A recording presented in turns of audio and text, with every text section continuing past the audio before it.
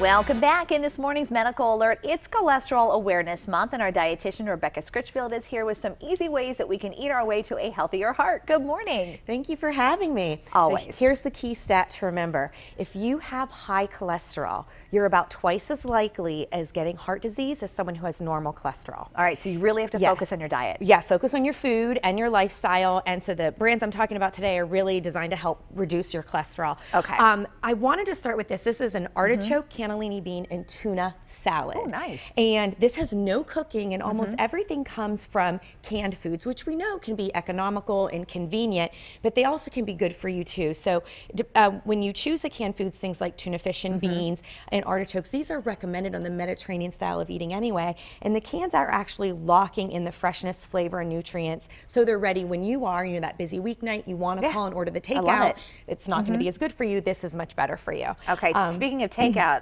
Chinese food. Yes.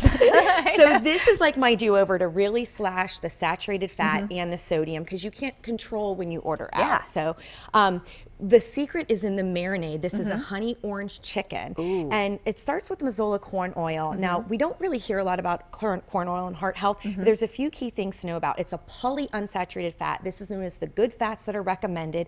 This is high in plant sterols. These are natural compounds that actually help block the cholesterol absorption in the body. So that's very good. It has 40% more than uh, olive oil, mm -hmm. or, or, sorry, 40% more than canola oil and four times olive oil. And there was even a study wow. in Journal of Clinical Lipidology that showed that it, it, actually helped lower cholesterol better than extra virgin olive oil, which it's is what we so think. confusing. Yeah, it is so confusing. So pick all, the corn oil. All the oils okay. are good, but mm -hmm. you know, add corn oil to the mm -hmm. eating plan. All right. Um, to get this, it's um, juice and zest of one mm-hmm. orange, plus soy sauce and a little bit of honey, all sauteed together. Um, you can take shortcuts with brown rice mm -hmm. in a mm-hmm. steamer bag, and I even did that broccoli in the microwave, two minutes, that's awesome. one inch of Maybe water. like what one tablespoon of the corn it's oil. It's a couple tablespoons okay. in the marinade, and then about a tablespoon in the saute pan. Okay, great. And then of course it's our personal favorite, and they make excellent stocking yes. stuffers always. Yes, Americans are great snackers mm -hmm. and on the go eating. We're talking about uh, like when you're yeah. when you undereat, you know, breakfast, you want to have something the packaged foods tend to not be as good for you. They're mm -hmm. fried. So I recommend to reach for nuts like pistachios. I love the portable packaging, but 90% of the fats in pistachios are the unsaturated, the good for you type.